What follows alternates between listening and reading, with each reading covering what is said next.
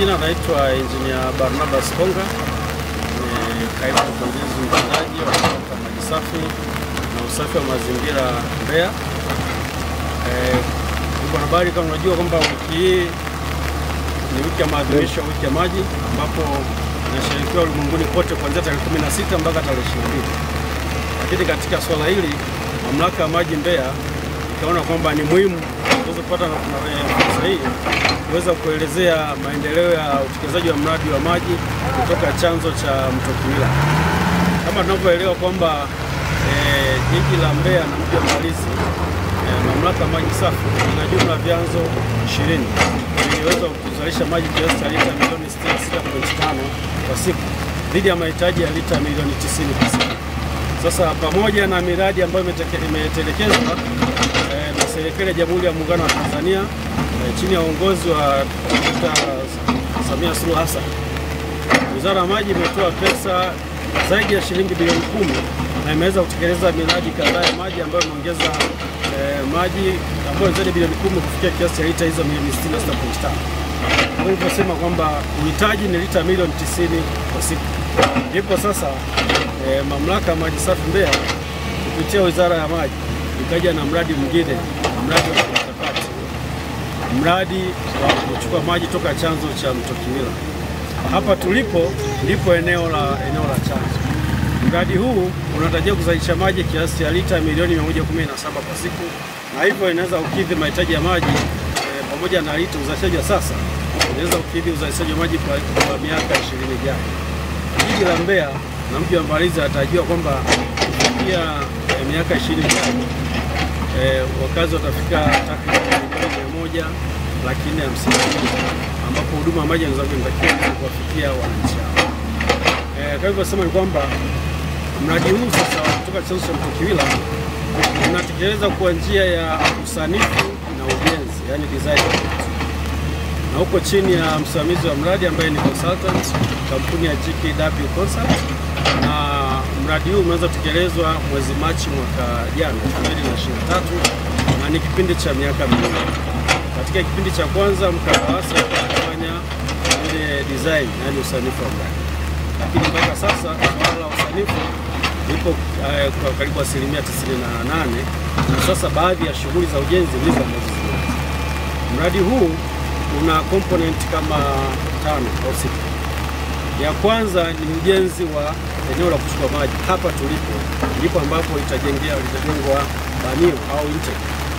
Ikijengwa hiyo intake ambayo sasa tunafanyika hapa, unaona kwamba kazi inafanyika hapa eneo la intake inafanyika clearance, kusafisha eneo, lakini pia itafanyika kazi ya river diversion au kuhamisha mto ili tuweze kupata mkandarasi apate eneo sasa la kuseti kuja kuweza kuchukua maji ambapo utajengwa unaita wia ili kuweza kukusanya maji na baadaye kuwe na njia ya njia kuu ya bomba ambayo itatoka hapa kwenda mjini. Kwa njia ya usanifu, bomba kuu itakuwa na kipenyo cha mita moja nukta nne na litatoka hapa ambayo ya kilomita 26.4 mpaka eneo la eh, eneo la mjini pale Sistila na Usenga, eneo ambayo itajengwa mtambo wa kutibu maji. Baada ya pale pale tutakuwa na clear water tank itajengwa ujazo wa lita milioni tano au cubic mita tano. Baada ya pale bomba lingine lenye kipenyo cha mita moja nukta mbili itatoka eneo la chujio ya kutibu maji kwenda mpaka eneo la New Forest. tutembea eneo la New Forest. Eneo la New Forest pale umbali wa kama kilomita kumi na moja kwa jumla ni kilomita thelathini na saba kutoka hapa tulipo mpaka eneo la New Forest ambapo kuna tanki la ujazo wa lita milioni tatu litajengwa tanki lingine kuhifadhi maji lita milioni tano kwa pale utakuwa na storage ya lita milioni nane ambapo baada ya hapo itaunganishwa na mfumo uliopo kuanza kuhudumia huduma. Awamu hiyo utekelezaji hii ni awamu ya kwanza.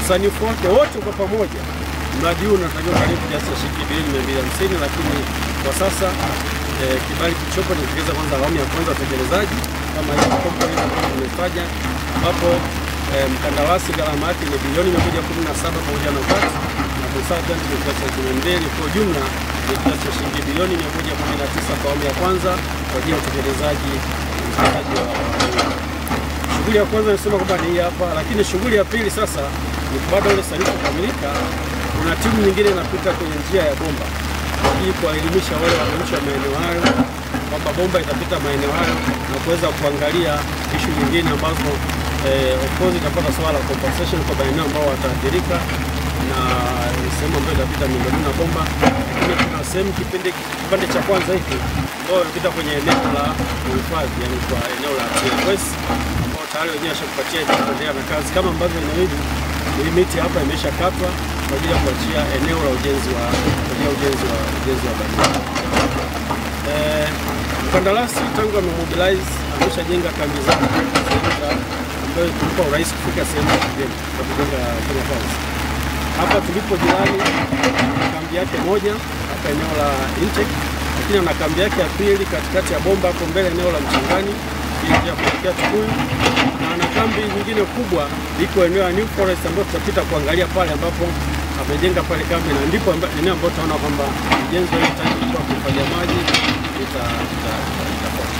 Kwa hiyo mradi huu unatarajiwa ukanywa mkataba wake kipindi cha miaka miwili na unatarajiwa kukamilika mwakani mwezi wa mwezi Machi, na baada ya hapo kuweza kutoa huduma kwa wananchi wa jiji la Mbeya wa mamlaka maji safi na usafi wa mazingira Mbeya inatoa inatoa shukrani za dhati kwa Rais wa Jamhuri ya Muungano wa Tanzania Daktari Samia Suluhu Hassan kuweza kuunganisha kiasi cha pesa kikubwa cha zaidi ya kiasi cha bilioni 119 kwa awamu ya kwanza katika utekelezaji wa mradi huu. Lakini pia tunashukuru pia ofisi ya mkuu wa mkoa wa Mbeya ambaye pia wamekuwa wakifuatilia utekelezaji wa mradi huu kwa sambamba na ofisi ya mkoa wa ya Mbeya pamoja na mkoa ya Rungwe ambapo kiko chanzo cha maji kilichopo huku. Lakini kwa mujibu wa sera bomba kuu ambayo itatoka hapa katika chanzo kuelekea mjini baadhi ya vijiji jirani vitakuwa pia vinanufaika wanufaika wanufaika mradi huu. Mradi huu unatarajiwa kuhudumia wakazi wapatao milioni moja laki hamsini na mbili ambao tunatarajia kwa mujibu wa sensa miaka ishirini ijayo watakuwepo katika mji wa Mbalizi ili kuonyesha kwamba wakazi hao wanapata huduma bora ya maji safi ah, pamoja na pamoja na, na, na, na, na salama. Eneo la Nsenga pale ndio wajengwa tanki lingine kama hivi ya ujazo wa lita milioni tano ambao ni clear water tank. Maji baada ya pale kupata matibabu yanakuja hapo mpaka kilomita hizo kumi na moja na point kama nne mpaka yanakuja kuingilia hapa. Hapa ndio kwenye tenki letu la lita milioni tano kwa yanaingilia hapa, yataingilia upande huu kwenda na kule kwenye ile box ya kule ndokea.